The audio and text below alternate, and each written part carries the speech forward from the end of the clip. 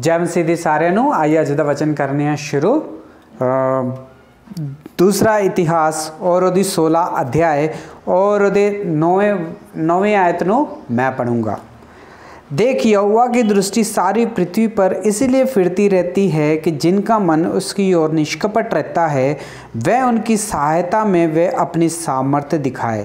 तूने ये काम मूर्खता से किया है, इसलिए अब से तू इसी लड़ाई में फंसा रहेगा। ਪਰਮੇਸ਼ਵਰ ਦੇ ਵਚਨ ਵਿੱਚ ਲਿਖਿਆ ਵਾ, ਜਿਹੜਾ ਸੱਚੇ ਮਨ ਦੇ ਨਾਲ ਪਰਮੇਸ਼ਵਰ ਨੂੰ ਲੱਭਦਾ ਵਾ ਔਰ ਪਰਮੇਸ਼ਵਰ ਦੀਆਂ ਅੱਖਾਂ ਵੀ ਉਹ ਇਨਸਾਨ ਦੇ ਉੱਤੇ, ਧਰਤੀ ਦੇ ਉੱਤੇ ਲੱਗੀਆਂ ਰਹਿੰਦੀਆਂ ਵਾ, ਜਿਹੜਾ ਪਰਮੇਸ਼ਵਰ ਨੂੰ ਲੱਭਦਾ ਵਾ। ਜਦੋਂ ਪਰਮੇਸ਼ਵਰ ਨੂੰ ਉਹ ਇਨਸਾਨ ਲੱਭ ਜਾਂਦਾ ਵਾ, ਕਿ ਇਹ ਪਰਮੇਸ਼ਵਰ ਨੂੰ ਲੱਭਣ ਡਿਆ ਵਾ, ਔਰ ਪਰਮੇਸ਼ਵਰ ਉਹਦੇ ਨਾਲ ਮਿਲ ਕੇ ਸਾਮਰਥ ਦੇ ਕੰਮ ਕਰਦਾ ਵਾ। ਵੱਡੇ ਵੱਡੇ ਕੰਮ ਪਰਮੇਸ਼ਵਰ ਉਹਦੇ ਨਾਲ ਮਿਲ ਕੇ ਕਰਦਾ ਵਗਾ। ਉਹ ਪੈਨਰ ਪ੍ਰੋ ਵਚਨ ਵਿੱਚ ਲਿਖਿਆ ਵਾ ਕਿ ਜਿਹੜਾ ਕੋਈ ਪਰਮੇਸ਼ਵਰ ਦੇ ਕੋਲ ਨਹੀਂ ਆਉਂਦਾ, ਉਹ ਉਸੇ ਮੁਸੀਬਤ ਵਿੱਚ, ਉਸੇ ਲੜਾਈਆਂ ਵਿੱਚ, ਉਸੇ ਤਕਲੀਫਾਂ ਵਿੱਚ फसया रहा वा। क्योंकि परमेश्वर ही आ ਜਿਹੜਾ सू दुख और तकलीफा ਵਿੱਚੋਂ ਜਿਹੜਾ ਵਾ ਬਾਹਰ ਕੱਢ ਸਕਦਾ ਵਾ यही प्रार्थना करने हैं प्यारे प्रभु जी, धन्यवाद, स्तुति और बड़ाई के साथ आपके चरणों में आके झुक जाके धन प्रणाम करते हैं।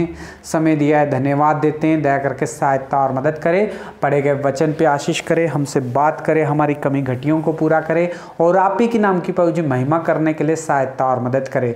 मैं भी यहाँ पर खड़ा हूँ, प्रभु जी, मैं भी अपनी बुद्धि और ज्ञान के साथ नए प्रभु जी, पवित्र आत्मा से भर के इस वचन को प्रभु जी बोल सकूँ? प्रभु जी, आप मेरी भी सहायता और मदद करें प्रभु जी। आपके हाथों में प्रभु जी सौंप देते हैं। आप इस संभालेंगे, चलाएँगे करके विश्वास करते हुए प्रादविंती को प्रभु यीशु मसीह के नाम से मांगते हैं। आमीन।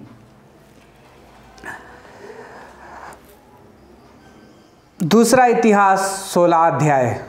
ਬਹੁਤ ਦਿਨਾਂ ਦਾ ਹੀ ਆਸਾ ਰਾਜਾ ਦੇ ਜੀਵਨ ਦੇ ਬਾਰੇ ਵਿੱਚ ਅਸੀਂ ਵੇਖਣ ਦੇ ਆ ਆਸਾ ਰਾਜਾ ਦਾ ਜਿਹੜਾ ਜੀਵਨ ਹੀ ਉਹਦੇ ਉੱਤੇ ਅਸੀਂ ਧਿਆਨ ਕਰਨ ਦੇ ਆਂਗੇ ਆਸਾ ਰਾਜਾ ਦਾ ਜਿਹੜਾ ਜੀਵਨ ਹੀ ਉਹ ਕਿਸ ਤਰ੍ਹਾਂ ਦਾ ਹੈਗਾ ਉਹ ਪੈਣੋ ਭਰਾਓ, ਅਸੀਂ ਵੇਖਿਆ ਕਿ ਆਸਾ ਰਾਜਾ ਜਿਹੜਾ ਹੀ 35 ਸਾਲ ਤੱਕ ਪਰਮੇਸ਼ਵਰ ਦੇ ਨਾਲ ਜੁੜਿਆ ਰਿਹਾ ਔਰ 35 ਸਾਲ ਤੱਕ ਪਰਮੇਸ਼ਵਰ ਵੀ ਉਹਦੇ ਨਾਲ ਜੁੜਿਆ ਰਿਹਾ। 35 ਸਾਲ ਉਹਨੇ ਪਰਮੇਸ਼ਵਰ ਦੀ ਖੋਜ ਕੀਤੀ ਔਰ 35 ਸਾਲ ਪਰਮੇਸ਼ਵਰ ਨੇ ਉਹਦੇ ਜੀਵਨ ਦੇ ਵਿੱਚ ਆਸ਼ੀਸ਼ ਔਰ ਆਸ਼ੀਸ਼ ਬਣ ਦਿੱਤੀ ਔਰ ਉਹਦੇ ਜੀਵਨ ਦੇ ਵਿੱਚ, ਉਹਦੇ ਰਾਜ ਦੇ ਵਿੱਚ ਪੂਰੀ ਸ਼ਾਂਤੀ ਬਣਾ ਕੇ ਰੱਖੀ। ਕਿਉਂਕਿ 35 ਸਾਲ ਆਸਾ ਰਾਜਾ ਨੇ ਸਿਰਫ ਪਰਮੇਸ਼ਵਰ ਦੀ ਖੋਜ ਕੀਤੀ ਔਰ 35 ਸਾਲ ਵੀ ਪਰਮੇਸ਼ਵਰ ਆਪਣੇ ਖੋ, ਖੋਜੀ ਆਸ਼ਾ ਦੇ ਨਾਲ ਹੀ ਜੁੜਿਆ ਰਿਹਾ। ਉਹ ਪੈਨਰ ਭਰਾਓ, ਇੱਕ ਵਿਸ਼ਵਾਸੀ ਦਾ ਜੀਵਨ ਕਿਸ ਤਰ੍ਹਾਂ ਦਾ ਹੁੰਦਾ ਵਾ? ਇੱਕ ਵਿਸ਼ਵਾਸੀ ਦਾ ਜੀਵਨ ਜਿਹੜਾ ਵਾ, ਸ਼ੁਰੂਆਤ ਨੂੰ ਵਿੱਚ ਬਹੁਤ ਹੀ ਵਧੀਆ ਹੁੰਦਾ ਵਗਾ। ਪਰ ਜਦੋਂ ਆਖਰੀ ਦਿਨ ਹੁੰਦੇ ਆ, ਉਦੋਂ ਵਿਸ਼ਵਾਸ ਵਿੱਚ ਕਮਜ਼ੋਰ ਹੋ ਜਾਂਦਾ ਵਾ। ਵਚਨ ਵਿੱਚ ਲਿਖਿਆ ਵਾ, ਸ਼ੁਰੂਆਤ ਭਾਵੇਂ ਕਿਤਰਾਂ ਦੀ ਵੀ ਕਿਉਂ ਨਾ ਹੋਈ ਹੋਏ, ਪਰ ਸਾਡਾ ਅੰਤ ਜਿਹੜਾ ਵਾ, ਬਹੁਤ ਹੀ ਵਧੀਆ ਹੋਣਾ ਚਾਹੀਦਾ ਵਾ। ਇਹ ਅੰਤ ਦੇ ਦੁਆਰਾ ਪਰਮੇਸ਼ਵਰ ਦੀ ਸਿਰਫ ਔਰ ਸਿਰਫ ਪਰਮੇਸ਼ਵਰ ਦੀ ਮਹਿਮਾ ਹੋਣੀ ਚਾਹੀਦੀ ਆ। ਉਹ ਭੈਣੋ ਭਰਾਓ, ਅਸੀਂ ਲੋਕਾਂ ਨੂੰ ਵੇਖਨੇ ਆ ਸ਼ੁਰੂਆਤ ਦੇ ਦਿਨ ਤੇ ਬਹੁਤ ਹੀ ਵਧੀਆ ਰਹਿੰਦਾ ਵਾ। ਵਿਸ਼ਵਾਸ ਵਿੱਚ ਰਹਿੰਦੇ ਆ, ਪਰਮੇਸ਼ਵਰ ਦੀ ਮਹਿਮਾ ਕਰਦੇ ਆ, ਹਰ ਇੱਕ ਦੁੱਖ ਔਰ ਤਕਲੀਫਾਂ ਵਿੱਚ।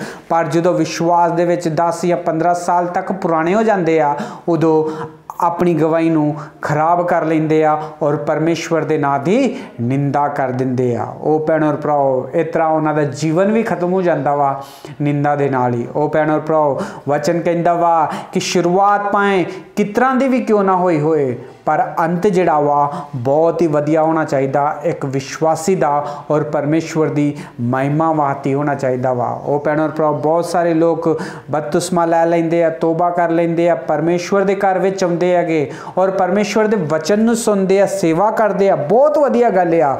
ਪਰ 5 ਸਾਲ 10 ਸਾਲ 11 ਸਾਲ 20 ਸਾਲ 30 ਸਾਲ ਤੱਕ ਪਰਮੇਸ਼ਵਰ ਦੇ ਨਾਲ ਜੁੜੇ ਰਹਿੰਦੇ ਆ, ਉਹਦੇ ਬਾਅਦ ਉਹ ਵਿਸ਼ਵਾਸ ਦੇ ਵਿੱਚ ਕਮਜ਼ੋਰ ਹੋ ਜਾਂਦੇ ਆ।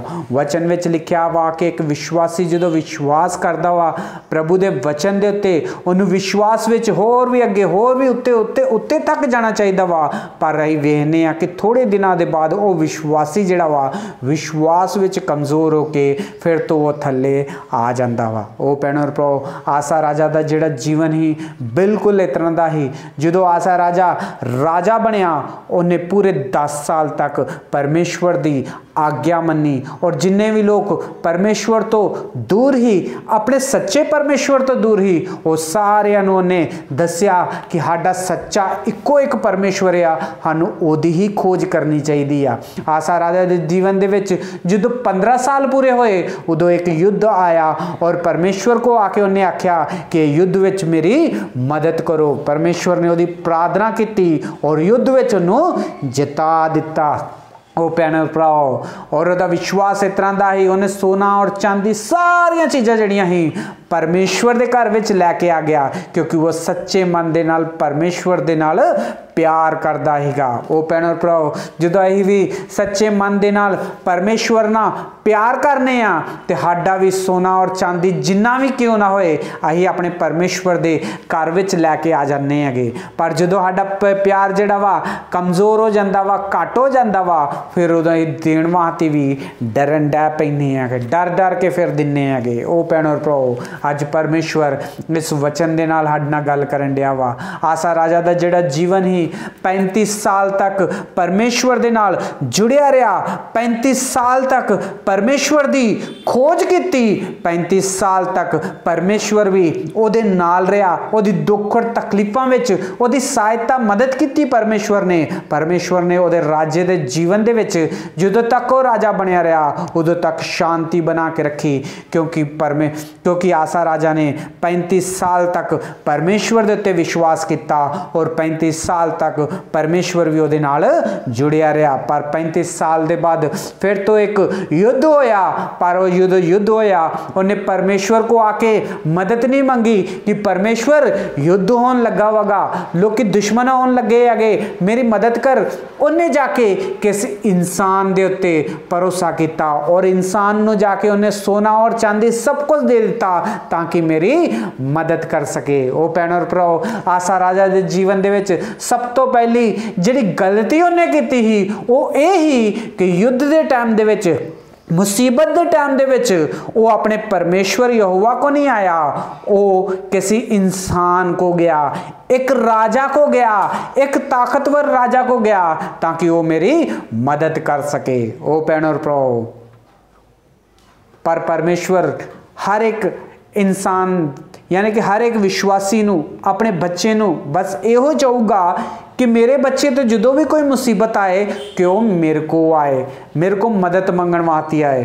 ਪਰ ਜੇ ਅਸੀਂ ਆਪਣੇ ਪਿਤਾ ਨੂੰ ਛੱਡ ਕੇ ਕਿ ਹੋਰ ਕੋ ਮਦਦ ਮੰਗਣ ਵਾਸਤੇ ਜਾਵਾਂਗੇ, ਤਾਂ ਭੈਣੋ ਭਰਾਓ, ਪਿਤਾ ਵੀ ਨਾਰਾਜ਼ ਹੋ ਜਾਂਦਾ ਵਾ। ਇਸ ਤਰ੍ਹਾਂ ਸਾਡਾ ਸੁਰਗੇ ਪਿਤਾ ਵੀ ਨਾਰਾਜ਼ ਹੀ ਉਦੋਂ ਪਰਮੇਸ਼ਵਰ ਨੂੰ ਕਰਨੇ ਆ, ਜਦੋਂ ਆਪਣੀ ਮੁਸੀਬਤ ਦੇ ਟਾਈਮ ਦੇ ਵਿੱਚ ਆਪਣੇ ਪਰਮੇਸ਼ਵਰ ਕੋ ਨਹੀਂ ਜਾਂਦੇ। ਉਹ ਭੈਣੋ ਭਰਾਓ, ਹਰ ਇਨਸਾਨ ਜਿਹੜਾ ਵਾ ਗਲਤੀ ਕਰਦਾ ਵਗਾ।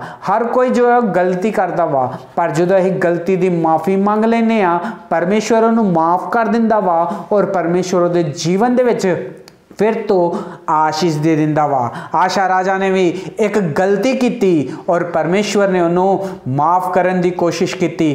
ਪਰਮੇਸ਼ਵਰ ਨੇ ਆਪਣੇ ਦਾਸ ਨੂੰ ਚੁਣਿਆ, ਹਨਨਿਆ ਭਵਿਸ਼ਵਕਤਾ ਨੂੰ ਚੁਣਿਆ ਔਰ ਉਹਨੂੰ ਆਖਿਆ ਕਿ ਜਾ ਕੇ ਆਸਾ ਰਾਜਾ ਦੇ ਨਾਲ ਗੱਲ ਕਰਕੇ ਤੂੰ ਜੋ ਕੀਤਾ ਵਾ, ਉਹ ਗਲਤ ਕੀਤਾ ਵਾ, ਤੈਨੂੰ ਨਹੀਂ ਹੀ ਕਰਨਾ ਚਾਹੀਦਾ। ਆਪਣੇ ਪਰਮੇਸ਼ਵਰ ਕੋ ਆ ਕੇ ਮਾਫੀ ਮੰਗ ਲਾ। ਉਹ ਪੈਨਰ ਪ੍ਰੋ ਪਰਮੇਸ਼ਵਰ ਦਾ ਦਾਸ ਜਦੋਂ ਆਸਾ ਰਾਜਾ ਦੇ ਕੋਲ ਆ ਕੇ ਉਹਨੇ ਆਖਿਆ ਕਿ ਤੂੰ ਜਦੋਂ ਤੇਰੇ ਜੀਵਨ ਦੇ ਵਿੱਚ ਮੁਸੀਬਤ ਆਈ, ਤੂੰ ਕਿਉਂ ਕਿਸੇ ਹੋਰ ਦੇ ਉੱਤੇ ਭਰੋਸਾ ਕੀਤਾ? ਤੂੰ ਆਪਣੇ ਪਰਮੇਸ਼ਵਰ ਦੇ ਉੱਤੇ ਕਿਉਂ ਭਰੋਸਾ ਨਹੀਂ ਕੀਤਾ? ਪਰ ਅਨਨਿਆ, ਭਵਿਸ਼ਵਕਤਾ ਨੇ ਆਸਾ ਨੂੰ ਯਾਦ ਦਿਲਾਇਆ ਕਿ 35 ਸਾਲ ਪਰਮੇਸ਼ਵਰ ਤੇਰੇ ਨਾਲ ਜੁੜਿਆ ਰਿਹਾ, ਕਿਉਂਕਿ 35 ਸਾਲ ਤੱਕ ਤੂੰ ਵੀ ਪਰਮੇਸ਼ਵਰ ਦੇ ਉੱਤੇ ਵਿਸ਼ਵਾਸ ਕੀਤਾ।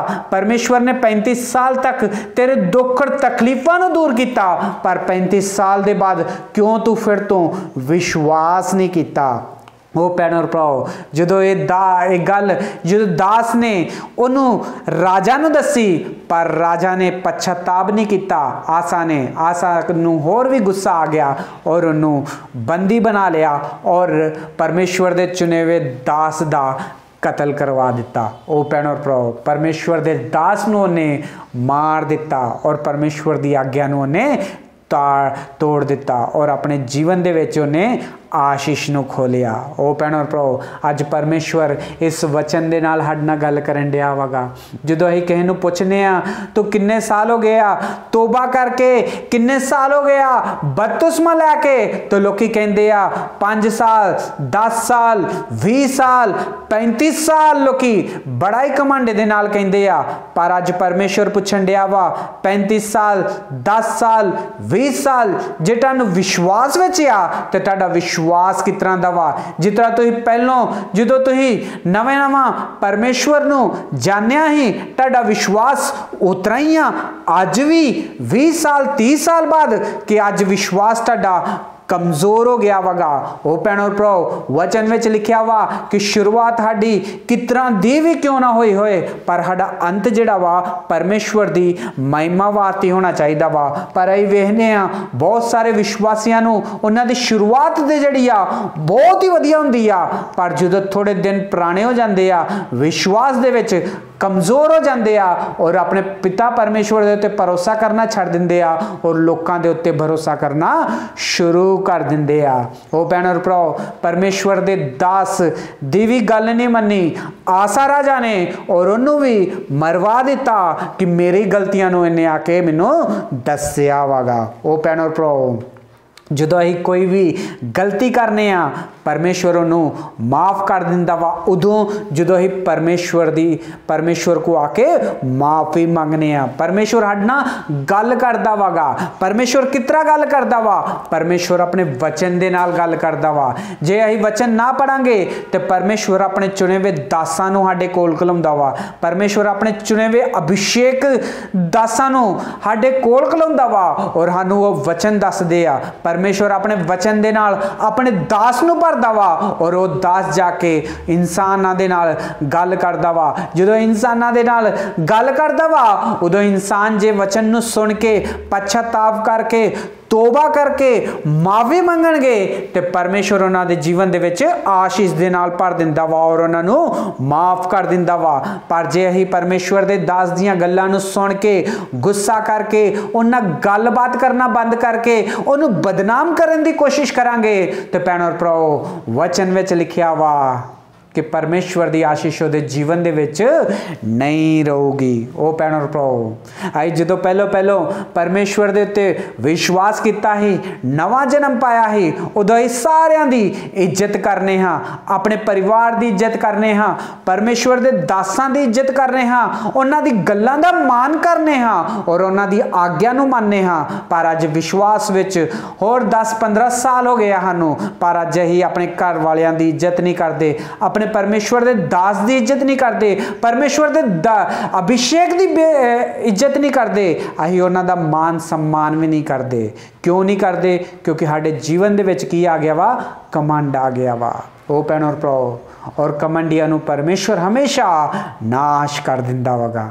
ਉਹ ਪੈਨਰ ਪ੍ਰੋ ਪਰਮੇਸ਼ਵਰ ਸਾਡੇ ਜੀਵਨ ਦੇ ਵਿੱਚ ਆਸ਼ੀਸ਼ ਦੇਣਾ ਚਾਹੁੰਦਾ ਵਾ। ਪਰਮੇਸ਼ਵਰਾਂ ਨੂੰ ਆਸ਼ੀਸ਼ ਦੇ ਨਾਲ ਪਰਨਾ ਚਾਹੁੰਦਾ ਵਾ। ਆਸਾ ਰਾਜਾ ਦਾ ਜਿਹੜਾ ਜੀਵਨ ਹੀ ਬਹੁਤ ਹੀ ਵਧੀਆ ਹੀ ਸ਼ੁਰੂਆਤ ਦੇ ਦਿਨਾਂ ਦੇ ਵਿੱਚ, ਪਰ 35 ਸਾਲ ਦੇ ਬਾਅਦ ਉਹਦਾ ਵਿਸ਼ਵਾਸ ਕਮਜ਼ੋਰ ਹੋ ਗਿਆ ਔਰ ਉਹਨੇ ਆਪਣੇ ਪਰਮੇਸ਼ਵਰ ਤੇ ਭਰੋਸਾ ਨਹੀਂ ਕੀਤਾ। ਉਹਨੇ ਕਿਸੇ ਹੋਰ ਦੇ ਉੱਤੇ ਭਰੋਸਾ ਕੀਤਾ। ਉਹ ਪੈਨਰ ਪ੍ਰੋ ਆਸਾ ਰਾਜਾ ਦਾ ਜਿਹੜਾ ਜੀਵਨ ਹੀ ਉਹਨੇ ਪਰਮੇਸ਼ਵਰ ਦੇ ਉੱਤੇ ਭਰੋਸਾ ਕਰਨਾ ਛੱਡ ਦਿੱਤਾ। ਇਥੋਂ ਤੱਕ ਕਿ ਉਹਨੇ ਪਰਮੇਸ਼ਵਰ ਦੇ ਦਾਸ ਦੀ ਵੀ ਹੱਤਿਆ ਕਰਵਾ ਦਿੱਤੀ। ਗੁੱਸੇ ਵਿੱਚ ਭਰ ਗਿਆ, ਲੋਕਾਂ ਨੂੰ ਸਤਾਉਣ ਡੈ ਪਿਆ। ਗੁੱਸਾ ਇਨਸਾਨ ਨੂੰ ਕਿਦੋਂ ਹੁੰਦਾ ਵਾ? ਗੁੱਸਾ ਇਨਸਾਨ ਨੂੰ ਉਦੋਂ ਹੁੰਦਾ ਵਾ ਜਦੋਂ ਉਹਦੇ ਕੋਲ ਬਹੁਤ ਜ਼ਿਆਦਾ ਪੈਸੇ ਹੋ ਜਾਂਦੇ ਆ। ਜਦੋਂ ਉਹਦੇ ਜੀਵਨ ਦੇ ਵਿੱਚ ਕਮਾਂਡ ਆ ਜਾਂਦਾ ਵਾ। ਜਦੋਂ ਉਹਦਾ ਕੋਈ ਹੋਦਾ ਮਿਲ ਜਾਂਦਾ ਵਾ। ਜਦੋਂ ਕੋਈ, ਜਦੋਂ ਉਹ ਅਧਿਕਾਰੀ ਬਣ ਜਾਂਦਾ ਵਾ। ਉਹ ਭੈਣ ਔਰ ਭਰਾ ਉਦੋਂ ਉਹਦੇ ਜੀਵਨ ਦੇ ਵਿੱਚ ਕਮਾਂਡ ਆ ਜਾਂਦਾ ਵਾ। ਜਦੋਂ ਇਹ ਇਨਸਾਨ ਦੇ ਜੀਵਨ ਦੇ ਵਿੱਚ ਕਮਾਂਡ ਹੁੰਦਾ ਵਾ, ਉਦੋਂ ਪਰਮੇਸ਼ਵਰ ਦੇ ਵਚਨ ਦਾ ਆਦਰ ਨਹੀਂ ਕਰਦਾ, ਨਾ ਉਹ ਪਰਮੇਸ਼ਵਰ ਦੇ ਦਾਸ ਦਾ ਆਦਰ ਕਰਦਾ ਵਾ, ਨਾ ਪਰਮੇਸ਼ਵਰ ਦੇ ਚੁਣੇਵੇ ਦਾ ਆਦਰ ਕਰਦਾ ਵਾ। ਇਸ ਕਰਕੇ ਉਹਦੇ ਜੀਵਨ ਦੇ ਵਿੱਚ ਪਰਮੇਸ਼ਵਰ ਦੀ ਆਸ਼ੀਸ਼ ਵੀ ਨਹੀਂ ਰਹਿੰਦੀ। ਉਹ ਪੈਨੋ ਪ੍ਰੋ ਅੱਜ ਪਰਮੇਸ਼ਵਰ ਇਸ ਵਚਨ ਦੇ ਨਾਲ ਸਾਡੇ ਨਾਲ ਗੱਲ ਕਰਨ ਡਿਆ ਵਾ। ਜਦੋਂ ਇਹ ਨਵਾਂ ਨਵਾਂ ਪ੍ਰਭੂ ਯਿਸੂ ਮਸੀਹ ਨੂੰ ਜਾਣਿਆ ਹੀ ਉਦੋਂ ਕਿੰਨਾ ਪਿਆਰ ਦੇ ਨਾਲ ਰਹਿੰਨੇ ਹਾਂ। ਕਿੰਨਾ ਵਚਨ ਸੁਣਨੇ ਹਾਂ, ਪਰਮੇਸ਼ਵਰ ਦੇ ਦਾਸਾਂ ਦੀ ਇੱਜ਼ਤ ਕਰਨੇ ਹਾਂ, ਉਹਨਾਂ ਦਾ ਮਾਨ ਸਨਮਾਨ ਕਰਨੇ ਆ ਪਰ ਅੱਜ ਅਸੀਂ 10 ਸਾਲ 15 ਸਾਲ ਪੁਰਾਣੇ ਹੋ ਗਏ ਆ ਅੱਜ ਸਾਡੇ ਜੀਵਨ ਦੇ ਵਿੱਚ ਕੀ ਆ? ਗੁੱਸਾ ਵਾ, ਨਫ਼ਰਤ ਆ ਪਰਮੇਸ਼ਵਰ ਦੇ ਦਾਸ ਦੀ ਅਸੀਂ ਬਦਨਾਮੀ ਕਰਨ ਦੇ ਆ, ਤਾਂ ਅੱਜ ਪਰਮੇਸ਼ਵਰ ਇਸ ਵਚਨ ਦੇ ਨਾਲ ਸਾਡੇ ਨਾਲ ਗੱਲ ਕਰਨ ਡਿਆ ਵਾ।